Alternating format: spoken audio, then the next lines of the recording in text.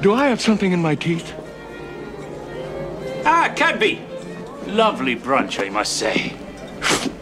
Quinn, I'd like you to meet Ace Ventura. This is Burton Quinn. He owns and operates Quinlan Safari Park. Most call me Quinn.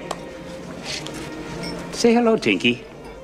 Pleasure, Tinky. Corvus corax, common raven, smartest of all birds. Rare these parts.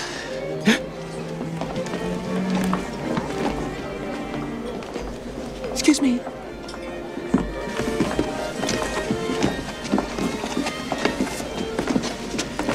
That's quite a wrap you're wearing. Perhaps I could get you some fluffy new slippers made from the heads of innocent and defenseless baby seals. Who is this ghastly man? Ace Ventura, pet detective. And uh, you must be the Monopoly guy. Hey, thanks for the free parking. Another activist, McGuire.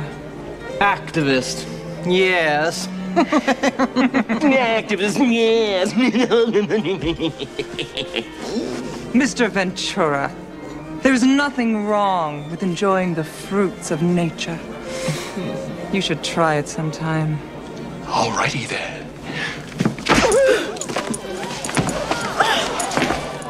You know something? You're right. La, da, da, da, da, da, da. La, da, da, da, da, da. La, da, da, da. Da. La, da, da, da, da, da, da, da, da.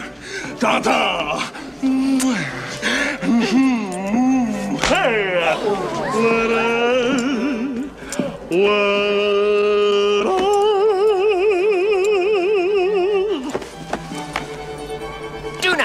not pass go. Do not collect $200. It's lovely, but I fancy myself in autumn. If you've quite finished, Mr. Ventura, we might make for the projection room, Greenwall. Kooky.